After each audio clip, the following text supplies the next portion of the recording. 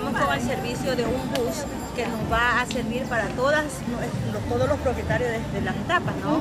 Me parece muy bueno, porque sí era realmente una dificultad salir de las etapas interiores hasta acá. Eso también motiva a todos los residentes